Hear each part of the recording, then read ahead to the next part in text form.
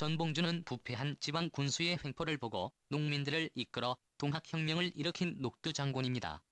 그는 어린 시절 아버지가 포악한 군수에게 항의하다가 잡혀 죽임을 당하는 끔찍한 사건을 보았습니다. 그때 어린 전봉주는 모든 사람은 평등하다. 와나라디를 바로 잡고 백성들을 편안하게 하자. 는 동학사상에 마음이 끌렸습니다.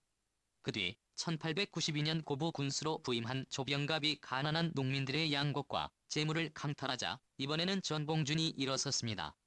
농민 대표들과 함께 군수를 찾아가 바른 정치를 해달라고 요청하였는데 군수는 그 자리에서 거부하고 더욱 포악한 정치를 일삼으면서 전봉준을 감시하는 것이었습니다.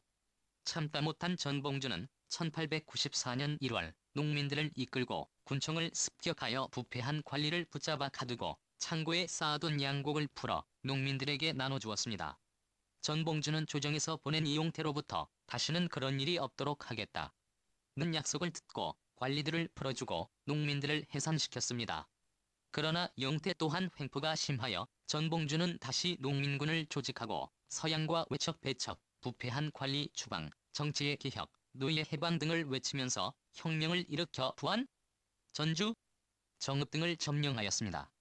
조정에서 광군과 일본군으로 동학토벌군을 편성하자 전봉준은 손병희의 10만 동학군과 힘을 합해 서울로 진격하였고 이를 본 경상도와 함경도에서도 동학지원군이 일어났습니다. 그러나 조직적인 일본군에게 패배하면서 동학혁명은 뜻을 이루지 못하였고 순창으로 피신하였던 전봉준은 배신자의 고발로 체포되어 사형을 당했습니다.